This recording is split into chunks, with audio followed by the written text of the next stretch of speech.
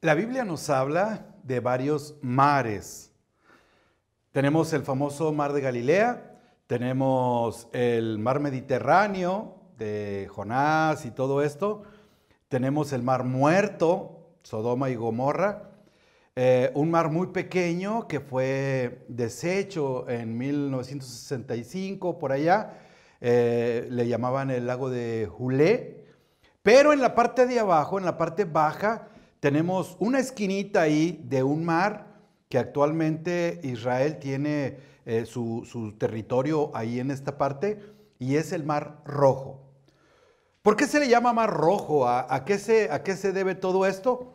Bueno, tenemos algo que, un efecto que las, eh, las eh, montañas que están a los lados de este mar tienen un color rojizo, la piedra es rojiza. Y entonces al atardecer, cuando está cayendo el sol, que es un ah, impresionante esta imagen, el agua, la luz rebota y el agua se ve rojiza. Y hagan de cuenta que es como, como sangre que hay en el, en el mar. Actualmente, eh, este lugar, conocido como Eilat, es eh, el Cancún o el Miami, por decirlo así, de Israel. Es un centro turístico muy, muy, muy hermoso, muy grande y hay muchas cosas muy modernas, nada que ver con la antigüedad, nada que ver, pero es una fusión de los dos porque también hay tours donde muestran eh, posibles lugares bíblicos aquí mismo. Hay algo que quisiera comentarles a ustedes, posiblemente eh, sepan o hayan escuchado, que entre los hallazgos últimamente arqueológicos se han encontrado el lugar por donde cruzó Moisés.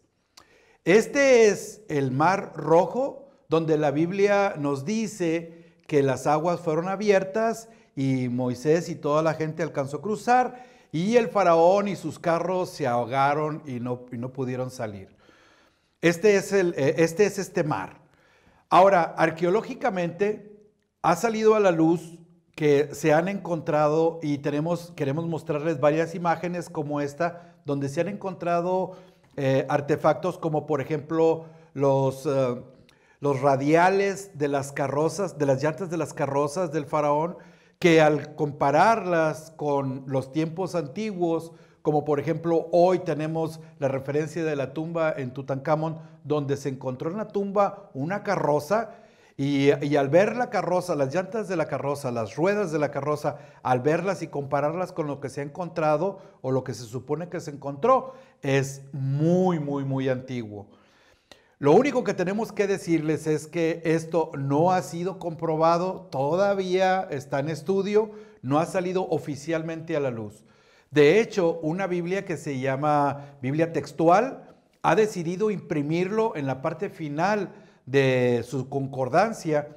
Y es algo muy, muy, muy hermoso porque ponen las fotografías, pero no se ha, oficialmente no se ha dado a conocer que esto es eh, un hallazgo arqueológico bíblico, pero lo tenemos ahí.